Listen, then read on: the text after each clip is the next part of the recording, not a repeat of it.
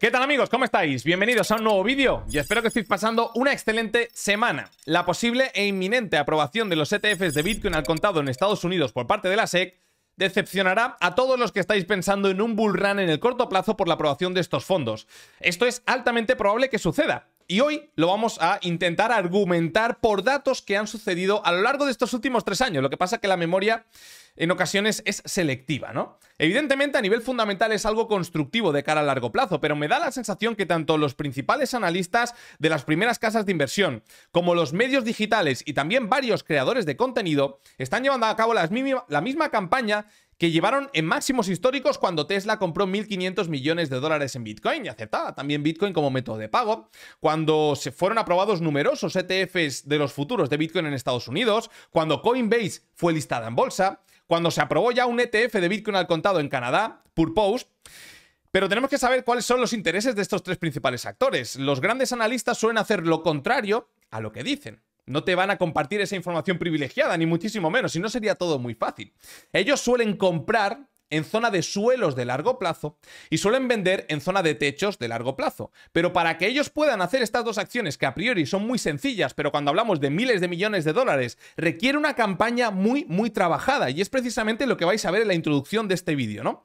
Por otro lado, tenemos los medios digitales, que su principal eh, fuente de ingresos son los clics. A ellos no les importa realmente generar información de valor, generar información de calidad, ni tampoco una información que esté lo más cercana a la realidad, sino a ellos lo que les interesa es generar clics. Esto lo tenemos que entender, el mundo funciona así, nos guste más o menos, esto es lo que hay, ¿no? A esos medios probablemente no les interese si los activos suben o bajan, sino lo único que les interesa es llevar a cabo su principal modelo de negocios, que es poner títulos interesantes, argumentar un poco lo que están diciendo en el título, sin más. ¿Para qué? Para que acudamos a ellos y así ellos poder meter publicidad. Ese es su principal modelo de negocio, lo tenemos que conocer, aceptar y decir, ok, voy a recibir esta información, pero con el sesgo que acabo de comentar ahora.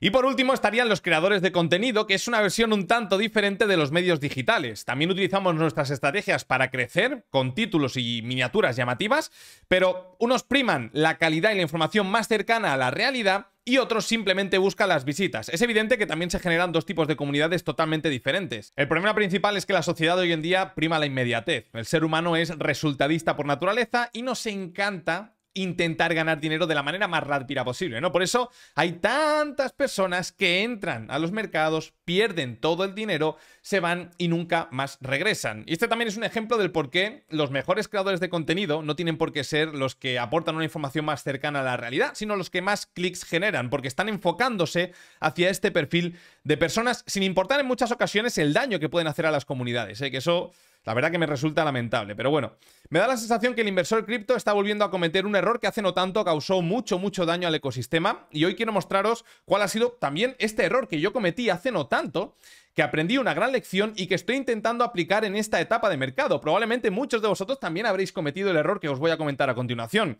Y es que los grandes analistas, los medios digitales, los creadores de contenido, están pensando en un gran bull run en el corto plazo por la aprobación de los ETFs al contado por parte de la SEC de numerosas firmas como BlackRock, como Grayscale, como ARK Invest, etc. Bien, pues para analizar este error que os estoy comentando, tenemos que remontarnos al 8 de febrero del año 2021, donde Tesla invierte 1.500 millones de dólares en Bitcoin y comienza a aceptarlo también como método de pago. Este fue el inicio de una zona de distribución de más de 500 días que llevaría a Bitcoin a un retroceso superior al 80% desde máximos históricos, desde los 69 mil dólares hasta los 17 o 15 mil dólares, mejor dicho, ¿no?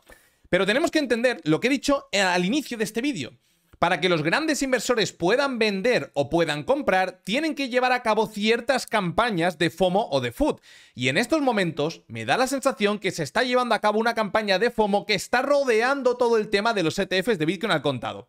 Pero no nos salgamos del guion. Fijaos, estaréis viendo por aquí en pantalla cuál era el momento en el cual Tesla anunciaba que compraba Bitcoin, casualmente niveles superiores a los 40 mil dólares y cercanos a esa zona de máximos históricos. Pero es que poco después, el jueves 11 de febrero, Canadá se adelanta a Estados Unidos con el lanzamiento del primer ETF de Bitcoin, el Purpose Bitcoin. Como os podéis imaginar, ahí se empezaba a cocinar algo ya, una retaíla de noticias para generar esa campaña de FOMO y que los grandes empezasen a distribuir, porque a la vez por datos en cadena, veíamos como claramente las ballenas estaban deshaciendo posiciones por esos niveles. Continuamos para Bingo con numerosas noticias, ¿eh? Del ETF salieron varias, fijaos, el volumen alcanza los 100 millones el primer día, en las primeras horas de negociación, una clara demanda del primer ETF de Bitcoin en Canadá. Vamos con otra, Bitcoin ETF canadiense resulta ser un gran éxito, imaginaos toda la cantidad de noticias que se estaban cocinando por esa fecha. Y aquí viene lo interesante, fijaos. Coinbase, el principal vendedor de criptomonedas, saldrá a bolsa el 14 de abril. Según los datos de Bloomberg, quedaos con esto, el valor de la plataforma estadounidense partirá de los 57.500 mil millones de dólares. No llega a 60 mil millones de dólares. Pero ¿qué pasa? ¿No? ¿Qué empieza aquí a decir ya los grandes analistas? Fijaos, lo que dice Mike Malone. Dice, la salida a bolsa de Coinbase puede impulsar a Bitcoin hacia los 70 mil dólares como Tesla a 60 mil dólares. Bueno, a 60 mil. La volatilidad más baja de esos 30 días, que además estaba causando Bitcoin una zona de distribución muy muy clara con ese primer ATH el 14-15 de abril del año 2021, fijaos, eh, indica que Bitcoin está listo para salir de su jaula y se favorece la continuación de mercado alcista. Estábamos, amigos, en niveles de los 60 mil dólares y esto es lo que decía Mike Malone, ¿vale? Seguimos con lo que estaba comentando Jim Cramer. En este caso decía, hay que comprar Coinbase cuando llegue ese acuerdo, aunque sea de 100 mil millones de dólares. Ya se sabe que hay muchas empresas que van a cambiar. MicroStrategy siempre ha sido el líder, así que otros querrán seguirlos. Ahora yo me pregunto en perspectiva, este tipo de analistas que llevan tantísimos años en el mercado, ¿no estaban viendo que a nivel técnico era inminente una corrección? Evidentemente que sí. Lo que pasa es que para deshacer sus posiciones tienen que convencer a otras personas que son buenos niveles de compra. Continuamos para Bingo porque fijaos lo que pasa con la salida a bolsa de Coinbase. La cotización de Coinbase representa un momento decisivo para las criptomonedas, dicen los analistas. Los analistas afirman que el impacto de la cotización de Coinbase en el Nasdaq será abrumadoramente positivo. Estábamos en los 63 mil dólares, ya que es el puente que utilizaron los inversores tradicionales para acceder a las criptomonedas. Es la misma retaíla que se está utilizando ahora con los ETFs de Bitcoin al contado y se estaba generando una clara zona de distribución. Pero se estaba valorando la salida a bolsa de Coinbase en los 57 mil millones de dólares aproximadamente. Y amigos, Fijaos lo que tenéis en pantalla. Coinbase sale a bolsa haciendo historia, logra una valoración de 100 mil millones de dólares gracias a la nueva era dorada de Bitcoin. Que todo esto está bien. Es decir, vuelvo a lo que le he dicho antes, a nivel fundamental, eran muy buenas noticias, pero una cosa es el valor y otra cosa es el precio. El precio puede estar claramente por encima del valor y se tiene que ir a ajustar y es lo que pasó. Y esto es lo que saben los grandes analistas y para deshacer sus posiciones tienen que seguir con esta retaíla de eh, propaganda de FOMO. Seguimos para Bingo porque fijaos que después de ahí ya tuvimos toda la corrección de, eh, bueno, concretamente la salida a bolsa de Coinbase fue en los máximos históricos de abril, ¿eh? No hay más. En esos máximos históricos se generó esos, eh, en esa salida a bolsa se, generó los primeros máximos históricos de abril. De ahí tuvimos una caída hacia niveles de los 30.000 entre mayo, abril y abril, mayo, junio más o menos, por esos niveles de ahí. Y luego empezó una recuperación. ¿Por qué? Porque se tenía que seguir distribuyendo. Si no, el movimiento alcista hubiera continuado después de romper los anteriores máximos históricos, pero simplemente fue una limpieza, otra campaña de FOMO para seguir distribuyendo. Fijaos, Canadá aprueba el mismo día ETFs de Ethereum, de Purpose y también otros dos eh, también fondos. Esto fue el 19 de abril, en toda la zona que hemos comentado antes de máximos históricos, ¿eh? que hemos dicho hasta ahora, en una gran zona de distribución. Coinbase sale a bolsa con unas valoraciones casi el por dos de lo que estaba planeado en un inicio. Purpose aprueba el ETF de Bitcoin al contado en Canadá. Tenemos a Tesla comprando Bitcoin y aceptándolo como método de pago. Tenemos nuevos ETFs de Ethereum también. Bueno, luego ya nos tenemos que remontar a octubre, del año 2021, donde se empiezan a aprobar los ETFs de los futuros de Bitcoin en Estados Unidos. Se aprobaron cuatro concretamente a principios del año 2022 y a finales del año 2021, pero el primero de todos fue el de eh, eShares. En este caso fue el 20 de octubre, cuando Bitcoin estaba cotizando en niveles cercanos a los 57 mil dólares. Seguimos para Bingo porque también el segundo fue el de Valkyria, este fue el 22 de octubre, ya estamos hablando de niveles más cercanos a los 58, 59, 60 mil dólares y comenta, solo unos días después de que ProShares debutara con un producto similar en el Nice. Y fijaos la cantidad de propaganda que te venden aquí, los billetitos, no, hostia, que esto está, compra que me quema de las manos, ¿no? Que vas a ganar dinero seguro. Bueno, hay que identificar esto porque la verdad que fueron momentos duros para todos los que lo vivimos. Ojalá pudiera volver al pasado y tomar decisiones de inversión totalmente diferentes, pero como no puedo hacerlo, lo único que puedo hacer es aprender las lecciones que me dejaron esos errores, que me dejó esa etapa e intentar aplicarla en un futuro, que en este caso lo estoy intentando aplicar en esta etapa de mercado. Bueno, también eh, tenemos el de Banek, que este fue el 15 de noviembre, la fecha la he puesto yo, lo podéis ir a corroborar. El 15 de noviembre estábamos ya, ya habíamos visto la zona de los máximos de los 69 mil dólares, en ese momento estábamos en los 63, ya se había generado esa limpieza del primer ATH de abril del 21 y estábamos iniciando una onda que nos llevaría hacia los 15 mil dólares. Pero esto sigue porque finalizaría, fijaos, la cotización de estos nuevos ETFs han disparado la cotización del Bitcoin hacia máximos históricos, hasta los casi 67 mil dólares. Pocos días después fueron los 69. Estamos ante un cambio de paradigma. Invertir en Bitcoin en 2021 es mucho más fácil que en 2013, desde luego. Y finalmente, el 8 de abril, ya en toda la onda 2, que estaba corrigiendo movimiento de caída de los 69 hasta los 30 mil dólares, ahí estalló la guerra, también pues se aprobó el cuarto ETF de los futuros de Bitcoin en Estados Unidos. Como estáis viendo, amigos, todo esto ha pasado. Todo esto no me lo estoy inventando, no me estoy pegando el triple, sino estoy recordando una etapa que generó mucho dolor al ecosistema. Y que casualmente lo miramos hacia atrás, decimos, hostia, todo este tipo de noticias tan favorables, lo que estaban intentando es generar una compra por parte del retail y una distribución por parte del gran inversor. Esta es la lección que yo me he llevado de toda esa etapa. Si yo ahora volviera a decir, los ETFs vamos a triunfar, vamos a ir a 60.000 de nuevo, ¿qué habría aprendido de un pasado? Que puede suceder, claro, porque lo que he aprendido también es que aquí todo puede suceder, pero tengo que estar en el escenario más eh, razonable, en el escenario que yo considero que es más probable. Y ese, por la situación macro que tenemos, que desde luego que no tiene absolutamente nada que ver con una etapa de bull run, es que Bitcoin, una vez pasado todo este FOMO, podría seguir incluso teniendo algún movimiento hacia los 40 mil dólares. No digo que no, ¿eh? También podríamos haber visto ya la zona de máximos de toda esta euforia por los ETFs y reingresar de nuevo en el rango. Y en ese momento os aseguro que el ecosistema cripto podría entrar en un letargo muy, muy bestia. Amigos, esto es eh, lo que yo he aprendido estos últimos años. Espero que bueno, valoréis toda la información que he tenido que buscar estos días para facilitaros lo que pasó en la zona de máximos del 2021 intentar difundir este vídeo, pasarlo a los amigos, darle like, comentar, todo esto va a ayudar y me va a motivar también a que siga trayendo información de este tipo y que no cree contenido por crear, sino que todo lo que traiga YouTube sea para que vosotros digáis, hostia, pues he podido aprender algo, ¿no? Así que para mí es muy, muy importante vuestro apoyo.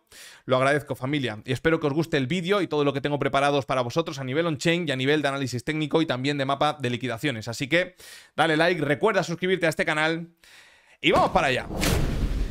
Y hoy vamos a hablar de ballenas, de grandes entidades de más de mil bitcoins, de más de 10.000 bitcoins, también de escasez dentro de los intercambios, porque estamos a pocos meses para el halving del año 2024. Y es muy interesante saber qué es lo que estaba pasando en el ecosistema de Bitcoin a finales del año 2019, qué es lo que estaban haciendo estos participantes a falta de pocos meses para el halving del año 2020.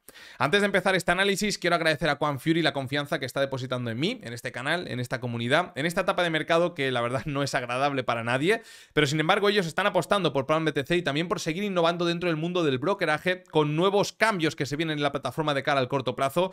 Estoy intentando también que cambie las secciones estadísticas para que se asimile un poquito quizá a MyFX Books, que muchos de vosotros lo utilizaréis a nivel de trading, también con DarwinX hemos cogido ciertas ideas y estamos ahí pues debatiendo para intentar mejorar esa sección y al final pues eh, que tengamos más compromiso con la plataforma, ¿no? A medida que eh, que no para de avanzar en este mundillo tan interesante que es el mundo del trading. Por aquí abajo te voy a dejar el código QR de esta plataforma Fury. Si te la descargas y fondeas la cuenta de trading con entre 50 dólares o más, pues recibirás una recompensa de entre 3 hasta 250 dólares y también a ese correo recibirás mi formación de trading gratuita que tengo para mi comunidad de Fury que se envía este viernes, ¿vale?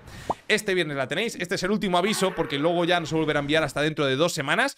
Así que gracias amigos por la, por la formación, ¿no? La formación la doy yo, pero gracias por el apoyo y espero que os guste la formación. Bien, Ahora sí, vamos a ver qué es lo que están haciendo las ballenas de Bitcoin. En este caso vamos a hablar de los holders. Un holder puede ser alguien que tiene 0,001 Bitcoin o que tiene 50 Bitcoins, ¿vale? No importa. Lo importante es la cantidad de tiempo que lleves con esos Bitcoins en tu wallet, en tu billetera, sin moverlos. Si llevas más de 155 días, tú ya eres un holder. Bien, pues esta gráfica nos recoge qué es lo que están haciendo esos participantes o qué es lo que están haciendo actualmente y cuáles son sus tenencias. Fijaos que de cara a finales del año 2019, el halving fue por esta zona de aquí, llevaban una tendencia claramente acumulativa, después de salir de un movimiento más bien lateral, después de una escalada muy muy importante, ¿no? Aquí tenemos la escalada, que podríamos compararla con esta otra de aquí, este sería el movimiento más bien lateral, no sé si vosotros estaréis de acuerdo, y ahora parece que han iniciado un movimiento más bien alcista. Bueno, el supply que actualmente tienen es de 14.865.000 bitcoins, una auténtica locura, mucho, mucho del supply que hay total en Bitcoin pertenece a este operador que tiene unos intereses para el activo de cara a largo plazo. Sin embargo, si nos vamos a esta gráfica, que lo que nos recoge es lo que está haciendo el operador de corto plazo, es decir, todo aquel que ha comprado Bitcoin desde hace 155 días hasta el momento actual. Es súper importante, sinceramente amigos, que entendáis lo que es esto, porque al final esto nos recoge la entrada de nuevo dinero constante dentro del ecosistema. Y digo constante porque si entran un millón de dólares en Bitcoin hoy, en 155 días, esta gráfica lo que ha entrado lo va a restar y ya va a sumarlo al operador de largo plazo. Por lo tanto, lo que nos recoge esto es la cantidad de dinero, de flujo de capital constante que entra dentro del ecosistema de Bitcoin. ¿Vale? ¿Qué podemos observar? Que después de un movimiento muy muy importante a finales del año 2020, que fue todo este movimiento de, que pasó pues de tener un supply este operador de 3 millones a prácticamente 5 millones, hizo un movimiento alcista muy muy importante, ha pasado ahora mismo a estar en mínimos que no se veían desde el año 2011. ¿Qué significa esto? Esto significa que a día de hoy, finales del año 2023, hay un desinterés en el ecosistema de Bitcoin superior al que hemos visto durante los últimos años, solamente comparable con el año 2011. Esta es la realidad. ¿Esto significa que es una grandísima oportunidad de inversión? No lo sabemos. Lo que está claro que cada vez que hemos generado unas zonas de mínimos han coincidido con potenciales zonas también de mínimos relativos en el precio del activo, pero estamos en un nuevo contexto, ¿vale? Nunca antes hemos vivido un escenario recesivo el, sistema de las, el ecosistema de las criptomonedas. Así que vamos a ver cómo se comporta a lo largo de los siguientes meses. Este supply tiene 2.372.000 bitcoins. Por otro lado, ¿qué es lo que pasa? Bueno, pues lo que pasa es que actualmente hay unos 4 millones de bitcoin que son los que afectan a la cotización del activo y más de 15.340.000 bitcoins son todo esto que veis aquí, de varios colores, es todo el supply de Bitcoin.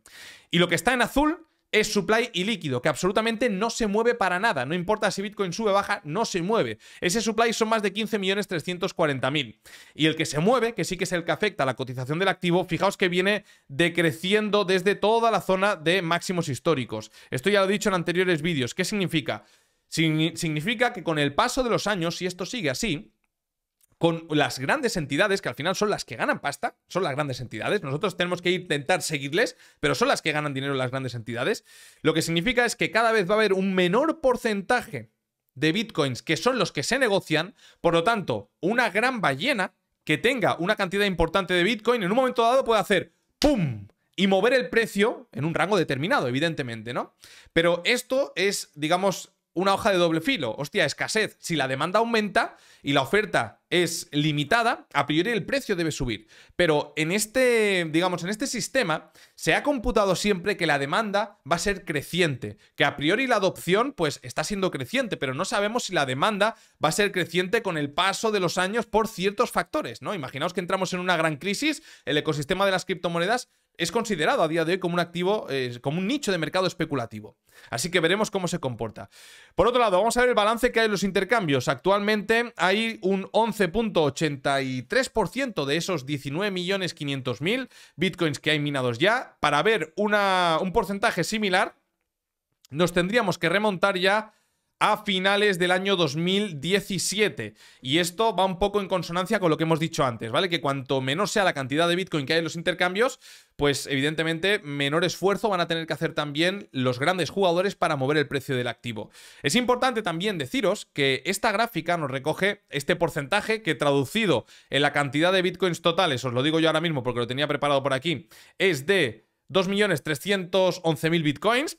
Esto estos son las tenencias de los intercambios. Si tú tienes una billetera en Binance y tienes un Bitcoin, está aquí también. Así que te recomiendo que te la lleves a tu wallet fría, porque si no tienes tus llaves, no son tus Bitcoins. Como vemos, una clara tendencia decreciente, aunque se está manteniendo más bien lateral desde toda la zona de mínimos. Sea, bueno, parece que fijaos que la quiebra de FTX fue un punto de inflexión para el ecosistema, porque pasamos de tener 2.640.000 a 2.340.000, es decir, 300.000 bitcoins se fulminaron de los intercambios, pero hasta ahora pues la tendencia es más bien lateral. Ahora, ¿cuántas ballenas tienen más de 1.000 bitcoins? Dentro de todo el ecosistema, lo que hacen los grandes jugadores, que son unos canallas además, intentan dividir sus tenencias entre diferentes billeteras de menos de mil bitcoins para no dejar rastro y para que cuando ellos decidan vender no se vea reflejado por los detectives de la blockchain. Así que en este caso, pues fijaos, lo que intentan hacer es dividir una tenencia muy grande de bitcoins en diferentes tenencias más pequeñitas para realizar ventas o realizar compras sin eh, que se les pueda seguir el rastro. Bueno, fijaos que en estos momentos el número de, de entidades con un balance superior a 1000 bitcoins es de unas 1500 aproximadamente. Daos cuenta que cuando iniciamos el bull run del año 2020 habían unas 1722. Es decir, tenemos unas 200 ballenas menos que por aquel entonces. Pero vamos a irnos no al número de ballenas, sino a la cantidad de bitcoin que sostienen estas ballenas. Que un poco en consonancia con lo que os he comentado en la introducción de este vídeo, fijaos que en enero, justamente cuando Tesla anunció que compraba bitcoin y tal, aquí es cuando empezaron a reducir la cantidad de tenencias que tenían. Así que... Bueno, veremos, ¿no? Pero está muy claro lo que hicieron en un pasado y toda la campaña que se generó por toda esta zona. Si vemos que se está repitiendo algo también por estos niveles, quizá la distribución evidentemente no será tan agresiva, pero no me extrañaría para nada tener algún pico hacia los 40.000 y luego un movimiento a la baja importante que vaya a limpiar toda la parte baja de los 25.000 y este doble suelo que ha dejado.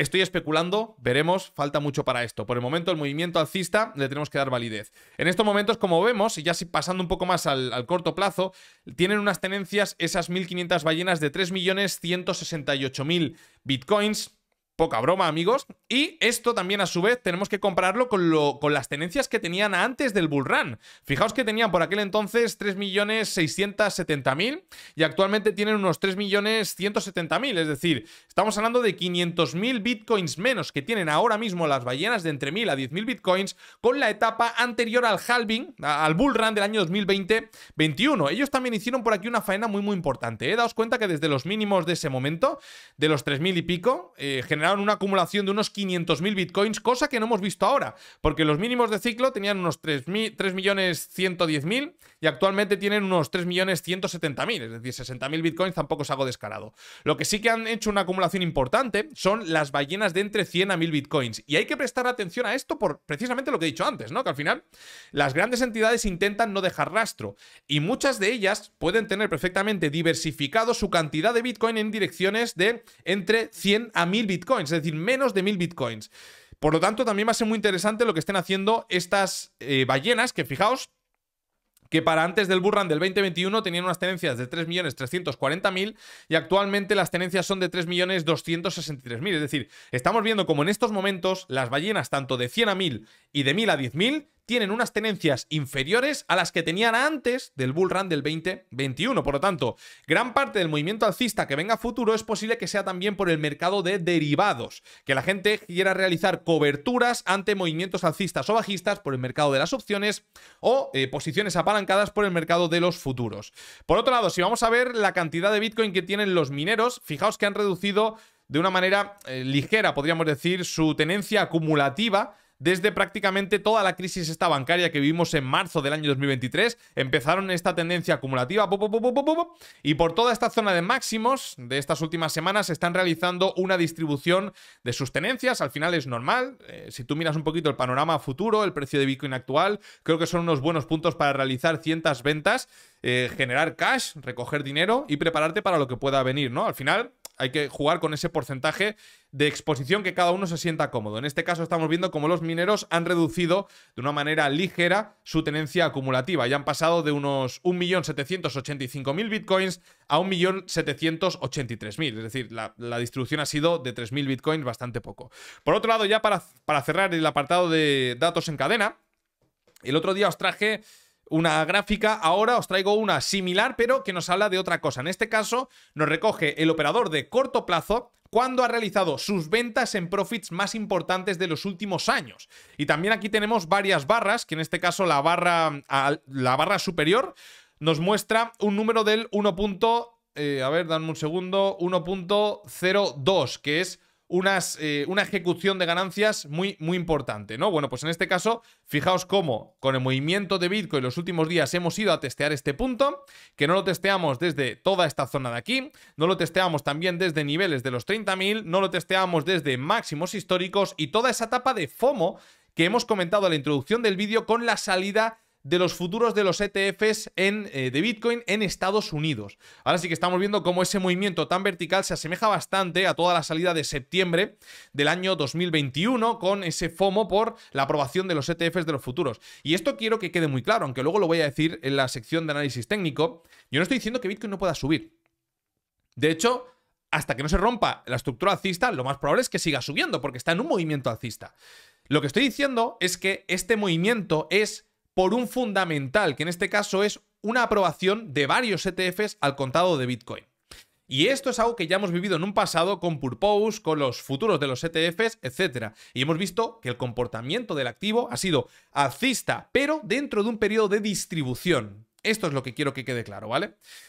Por otro lado, seguimos para bingo con esta otra gráfica que quiero mostraros algo, ¿no? En este momento nos habla de la cantidad de supply que tiene el operador de corto plazo, PAM, largo plazo, holder, este de aquí, ¿cuál porcentaje es el que está en profit y cuál es el que está en pérdidas de ambos operadores. En rojo tenemos el operador de corto plazo, en azul tenemos el operador de largo plazo. En este caso, fijaos cómo ese rojo intenso nos habla del porcentaje de profit de ambos operadores. Eh, azul largo plazo, rojo, corto plazo, y ese rojo clarito y azul clarito nos habla de la cantidad de supply en pérdidas. Daos cuenta que el operador de corto plazo tiene un supply en pérdida del 0%. ¿Vale? 0%. Es decir, cuando hay un operador de corto plazo, ¿no? En este caso de Bitcoin, el que ha comprado dentro de los últimos 155 días, que tiene un supply en pérdidas cercano al 0%, suelen ser zonas a partir de las cuales se inicia un proceso correctivo del alza especulativo que ha vivido el activo. Así que bueno, fijaos, ¿cuándo hemos tenido anteriormente un porcentaje cercano al 0%? En todas esas zonas que antes hemos comentado que habían funcionado muy bien como puntos de retroceso porque la gráfica anterior ya nos estaba diciendo que se habían ejecutado ganancias importantes. Así que atentos a esto. Por otro lado, ya para cerrar, quiero traeros esta gráfica porque mm, muchos nos preguntamos, ¿no? Hostia, Carlos, eh, fulanito de tal, menganito de tal, ¿cuál puede ser el punto objetivo del precio de Bitcoin si sigue teniendo un alza especulativo, se aprueban los ETFs y entra FOMO en el mercado, entra capital, entra nuevo dinero y Bitcoin sigue subiendo? Os, os traigo esta gráfica que es muy interesante porque nos recoge el precio realizado del operador de corto plazo, que es la línea naranja que tenéis intermedia entre la roja y la azul, y luego nos dice cuándo eh, está en un, digamos, una desviación estándar por arriba y por debajo de el supply del operador de corto plazo, de ese precio realizado. Así que lo que nos está diciendo es que, mira, Carlos, si Bitcoin tiene un movimiento alcista, normalmente todo lo que sea acercarse a esta línea de color rojo, todo lo que sea acercarse, no tiene por qué testearlo, pero puede también testearlo perfectamente, suele ser un punto en el cual el operador de corto plazo está en tantas ganancias que hay que hacer ese análisis de fondo para ver si no estamos en una etapa de distribución, si no estamos en un movimiento muy, muy vertical. Así que en este caso, fijaos que ese precio serían los 41.511 dólares por Bitcoin, que sería un punto objetivo, porque estaría, daos cuenta que estaría entre los 38 y los 40 mil dólares. Es decir, de tener Bitcoin un movimiento al alza especulativo, podría llegar a niveles cercanos a los 40.000 dólares, algo muy similar a lo que sucedió por aquí en toda esta etapa de máximos históricos, los segundos máximos históricos, cuando se aprobaron los ETFs de Bitcoin al contado. Esta es la versión alcista. Luego, después de testear tantas veces la parte alta, si luego perdemos toda la zona intermedia y vamos a limpiar la parte baja, ya estaríamos hablando de testear la parte baja, esta línea de color azul que se encuentra a niveles de precio cercanos a los 21.000 dólares por Bitcoin. Y pasando a la sección de análisis técnico, vamos a repasar lo que hemos comentado en el inicio. Fijaos, todas estas líneas verticales son esas noticias que hemos comentado en la introducción del vídeo. Tesla, Purpose, ETFs de Ethereum, aquí tenemos la aprobación de los ETFs de los futuros de Bitcoin, aquí tenemos más aprobaciones de ETFs de futuros de Bitcoin, zona de máximos relativos, zona de distribución, pico antes de un movimiento correctivo, Zona también de distribución. Recordaréis también toda esta estructura que fue una estructura triangular con una trampa para toros antes de un movimiento correctivo importante. A toro pasado, este tipo de noticias se dieron en una zona de distribución de grado mayor de más de 500 días. Y la lección que yo aprendí por toda esta zona es que normalmente cuando el mercado espera algo muy muy positivo, ya lo ha descontado antes en el precio. Y sí que es cierto que podría seguir subiendo después de la aprobación de los ETFs al contado, pero gran parte de la expansión se suele dar antes de que esas noticias se hagan efectivas. Y de aquí la miniatura del día de hoy. Así que la lección que yo aprendí por estos niveles que me estoy llevando al presente, ya lo comenté en el último vídeo, que yo personalmente he deshecho posiciones de Bitcoin que tenía por estos niveles. En zona de mínimos tenía una exposición del 30%. Con la escalada que tuvo en los 25.000, este 30 se convirtió en un 45 y decidí vender un 10% eh, y ahora he decidido vender otro porcentaje, que puede tener un retroceso y seguir subiendo, seguir pegando ese arreón hasta niveles en torno a los 40.000 dólares. Claro, podría, pero mi escenario más probable es que gran parte de ese alza ya esté descontada en el precio antes de la aprobación de los ETFs y que luego venga algún movimiento correctivo. Así que bajo mi punto de vista, el movimiento alcista que le falta a Bitcoin es altamente probable que sea mm, marginal en comparación a la corrección a posteriori y que muy probablemente si no hubiéramos tenido esta aprobación antes de lo previsto, que en principio recordad que iba a ser para el año 2024, Bitcoin hubiera seguido dentro de este rango o hubiera ido a atacar la parte baja de los 25.000 dólares a cerrar ciertos gaps entre los 26 y los 28 liquidar todos estos mínimos crecientes y limpiar este doble suelo. A la vez también recordad que este movimiento alcista se produjo en el cierre del domingo de la semana pasada y en la apertura del lunes en horario asiático. Y lo que está haciendo Bitcoin ahora simplemente es esperar en la parte alta a esta aprobación para probablemente tener otro pico de euforia. ¿Vale? Así que bueno, ya estoy jugando mis cartas, estoy jugando mi escenario más probable, que no significa que tenga que ser el que se vaya a desarrollar. Y entiendo que habrán personas que digan, no, yo prefiero comprar todo y holdear. Perfecto, está genial. Y habrán otros que digan, no me siento cómodo teniendo Bitcoin. Pues también está genial, porque amigos, cada uno gestiona su dinero como le da la gana y como más cómodo se siente. Y esta es la manera con la que yo personalmente me siento cómodo. Así que en el corto plazo, pocas noticias, porque seguimos dentro del escenario técnico de la semana pasada. Hemos limpiado la parte alta, por lo que con las noticias que tenemos en poquitas horas, con la reunión del FONC, que van a mantener los tipos y probablemente el discurso a posteriori de Powell, no descarto para nada tener alguna limpieza de la parte baja y seguir dentro de este rango con una mayor probabilidad de atacar la parte alta, porque hemos limpiado la parte alta de este rango. Si nos vamos a gráfica horaria lo veremos más claro. Este máximo que se ha generado ha sido en los 35.191 y el máximo de los movimientos anteriores han sido los 35.144. Esta limpieza para mí aumenta la probabilidad de tener algún movimiento alcista, pero ya para venir a limpiar gran parte de este movimiento. Este es el movimiento del corto plazo que yo planeo para Bitcoin. Y en el vídeo del domingo pues tendremos mucha información porque ya habrá hablado Powell. Y recordad lo que os comenté que esta semana para mí es la que va a marcar gran parte de lo que resta de año y veremos si aumentan o disminuyen la probabilidad de rally navideño. Si nos pasamos a Ethereum, más de lo mismo, seguimos sin novedades, os comenté que, bueno, va a tener un movimiento muy proporcional que tenga Bitcoin. Si tenemos ese alza con la aprobación de los ETFs, que hay unos que dicen que va a ser para el 10 de noviembre, otros para principios del mes de noviembre, no tenemos ni idea. En principio, recordad que iba a ser para octubre, pero bueno, al final esto pues nadie tiene una fecha exacta, podríamos tener ese pico adicional y si Bitcoin se dirige hacia niveles de los 40.000 dólares, probablemente eso coincida con un Ethereum en zona de los 1.900 o 2.000 dólares por Ethereum. Así que poco nuevo que comentaros a nivel técnico porque seguimos dentro de este escenario que está descontando una inminente aprobación de los ETFs y por el momento no tenemos más novedades respecto a los ETFs. Por otro lado, la dominancia de Bitcoin se mantiene en niveles elevados. Esto es algo que ya comentamos hace varias semanas. Recordad que rompimos el nivel del 48-49% de dominancia que anteriormente había sido resistencia, es decir, si tú por aquí hubieras tenido un mayor porcentaje de exposición en altcoins que en Bitcoin, probablemente o habrías perdido menos o habrías ganado más. Y una vez que rompemos ese nivel y nos apoyamos, lo que estuvimos comentando, alta probabilidad de que Bitcoin te genere un mayor rendimiento o unas menores pérdidas que estando expuesto a las altcoins. Y ahora hay personas que a veces dicen, hostia, no, pero es que Solana está subiendo. Me da igual Solana. Hay cientos de altcoins o decenas de altcoins top para dar exactamente con la que se va a comportar mejor que, Bitcoin en este caso, es altamente probable que salgas perdiendo.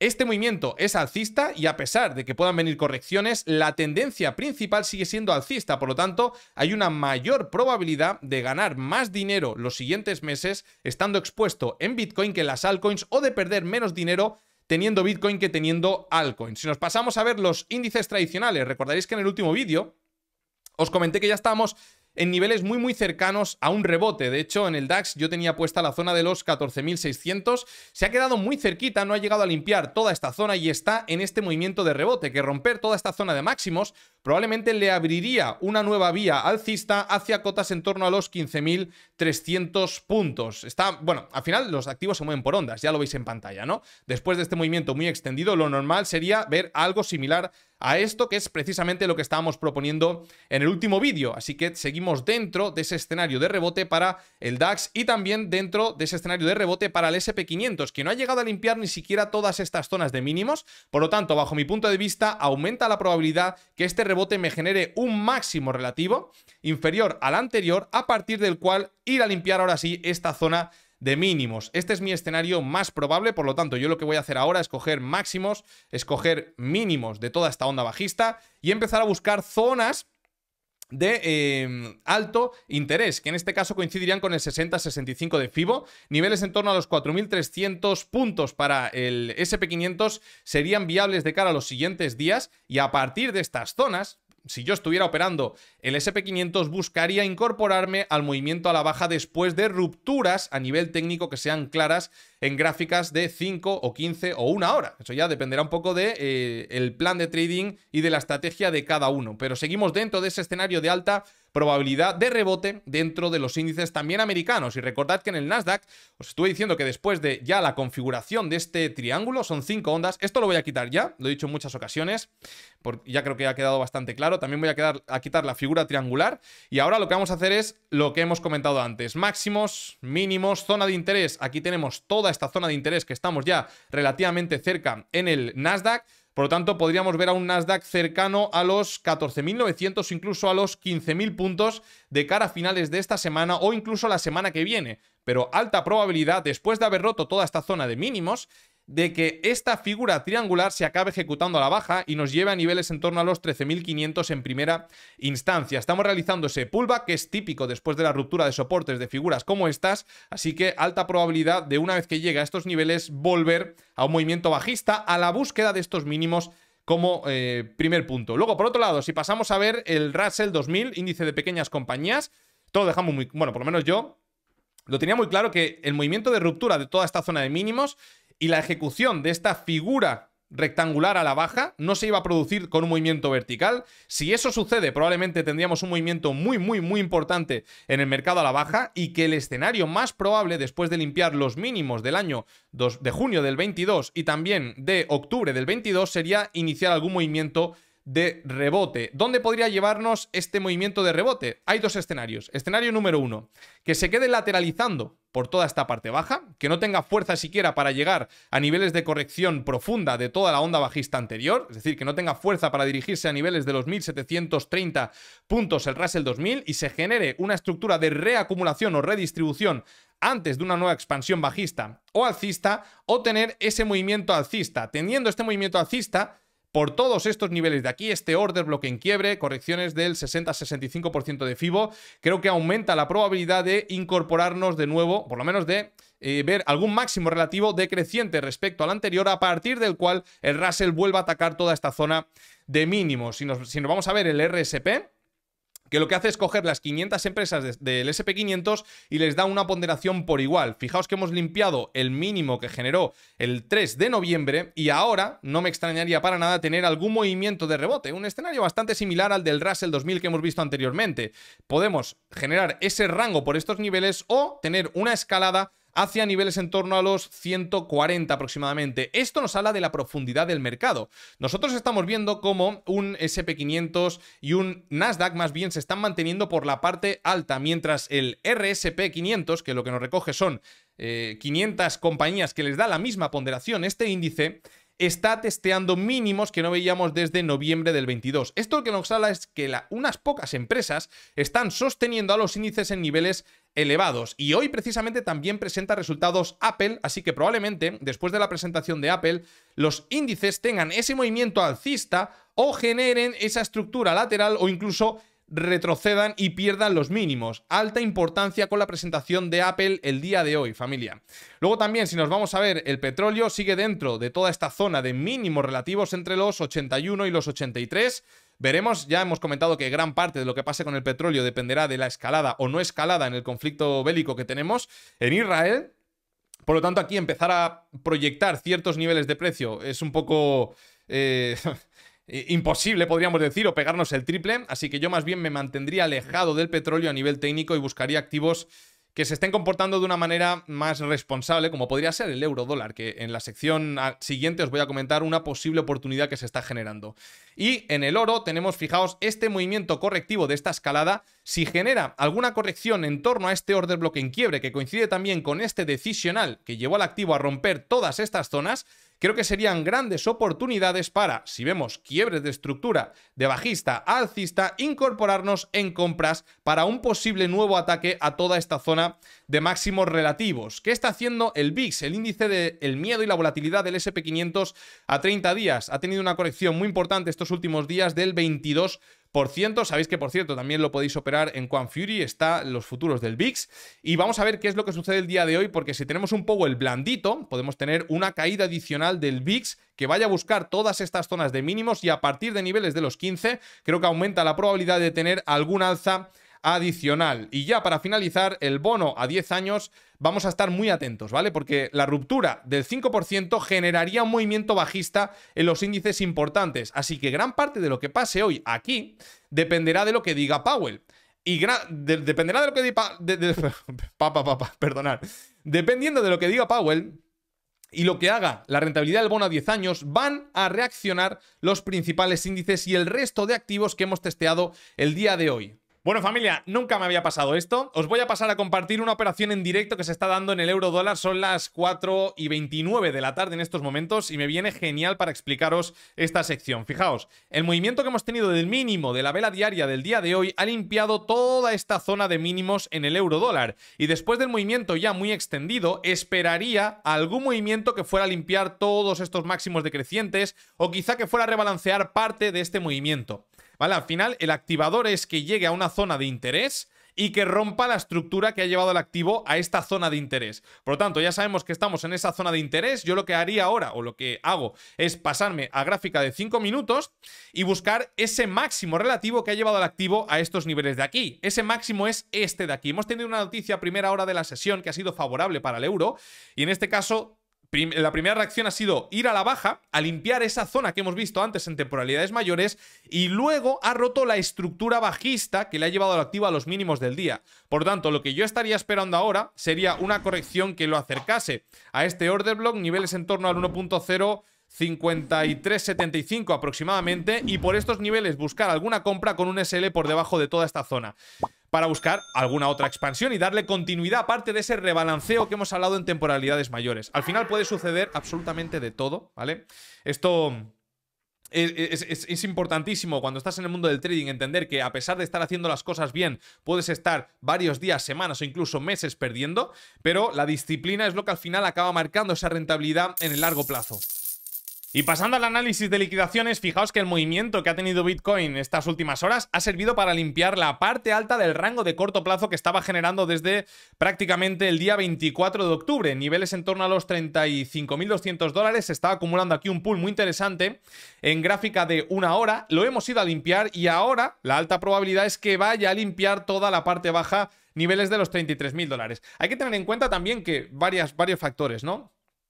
Lo primero, ahora, ahora veremos temporalidades mayores, pero lo primero que estaba claro que este rango se iba a limpiar por arriba y por abajo. El primer lugar que limpia suele ser el contrario al que expande. Si limpia y retrocede, es algo a corto plazo negativo, pero quizá a medio plazo positivo, porque podríamos retroceder hacia ciertos niveles para expandir de nuevo con la aprobación de los ETFs y ver otro pico de FOMO hacia esos niveles que hemos comentado en el análisis técnico. Pero lo que nos dice esta gráfica en el corto plazo, después de esta limpieza, es que es posible que venga algún tipo de corrección hacia niveles de los 33.000 dólares. Ya sabéis que hoy tenemos mucha volatilidad por la reunión del FONG. Y luego por debajo ya estaríamos hablando de niveles de los 30.900. ¿eh? Hay que tener cuidadito con esto. Estamos en la parte alta, ni siquiera hemos roto rango por la parte baja. Pero daos cuenta que se comió este pool de liquidaciones muy importante con el movimiento alcista en el fin de la sesión de domingo y en el inicio de esta semana lunes. Y perder todo este movimiento alcista, desde luego que no sería positivo porque estaríamos envolviendo al 100% de ese movimiento, ¿no? Ya os digo, por el momento estamos simplemente en la parte alta, limpieza de la parte alta. Lo normal es venir a, limpiar esos niveles que hemos comentado en torno a los 33.000 dólares y a partir de aquí habrá que reevaluar situación para ver si reingresamos por encima de estos niveles. Lo que está bastante claro es que aún han quedado un pequeño pool en estos niveles de 4 horas en torno a los 36.000 dólares y si nos vamos ya un poquito más pensando en el medio largo plazo, no sé si nos lo permitirá esta gráfica, sí, efectivamente. Fijaos como estuvimos hablando también el último día de niveles de los 38.000. Eh, sería el último pool relevante que quedaría y fijaos por abajo todo lo que tenemos. Retroceder, es decir, hemos limpiado la parte alta en el corto plazo. Retroceder, coger gasolina, seguir subiendo para arriba para limpiar esto a partir de los 38.000 dólares, a pesar de ser una zona muy interesante a nivel técnico por ese order block después de la quiebra de UST, se estaría limpiando todos los pools de la parte alta. Ya lo que quedaría sería purrialla por niveles superiores y hemos dejado por abajo bastante chicha, ¿no? Así que veremos, amigos. Este es el panorama que tenemos en el corto plazo para el día de hoy.